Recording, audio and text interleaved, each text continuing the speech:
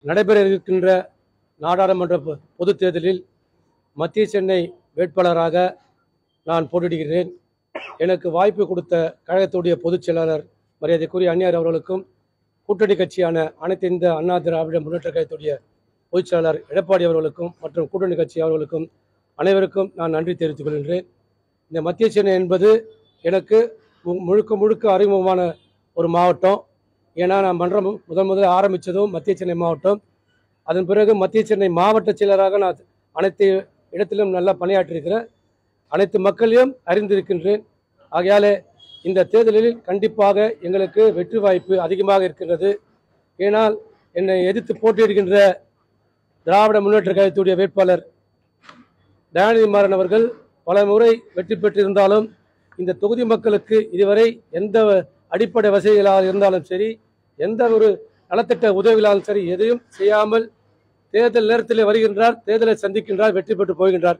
ஆனால் இந்த முறை மக்கள் விழிப்புணர்வு இருக்கிறார்கள்.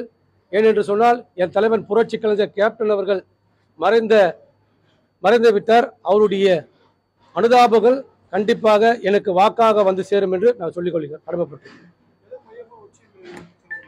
இது முழுக்க முழுக்க இன்னைக்கு திமுக பார்த்தீங்கன்னா மக்கள்கிட்ட ரொம்ப வெறுப்பு இருக்கு.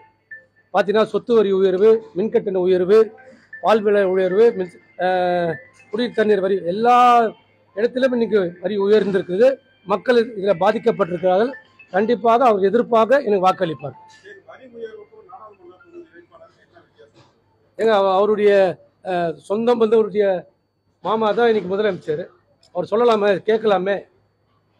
ஏங்க இந்த மாதிரி மாநிலத்தில் ஏன் இவ்வளோ வரி வயிறு வரி உயர்த்துறீங்கன்னு சொல்லி ஏதோ ஒரு ஆலோசனை சொல்லலாமே. சொல்லக்கூடிய இடத்துல தான் அவர் இருக்கிறாரு.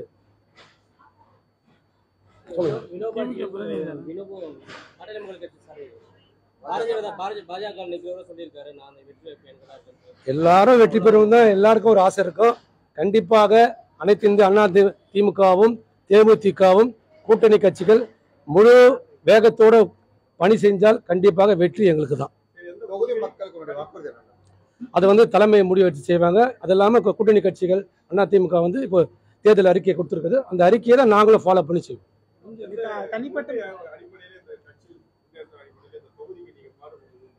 கொள்கை இல்லை. எல்லாம் எங்கள் மக்கள்.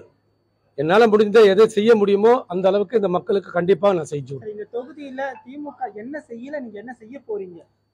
சார் நான் சொல்லணும்னு அவசியம் கிடையாது. நீ மக்களிடத்திலே போய் பாருங்க. அவர் வெற்றி பெற்ற பிறகு தேர்தல் நேரத்தில் மட்டும்தான் வருவார் தவிர மற்ற நேரத்தில் தொகுதி பக்கமே வரலன்னு சொல்லி மக்கள் குறையா சொல்லியிருக்காங்க. நான் சொல்றதை விட மக்கள் தான் இந்த குறையா சொல்லியிருக்காங்க. அதன் அடிப்படையில் நான் சொல்றேன். என்ன திட்டங்கள் அவங்க செய்யலாங்க? என்ன திட்டம் செய்தா நீங்க சொல்லணும்னா நான் சொல்றேன்.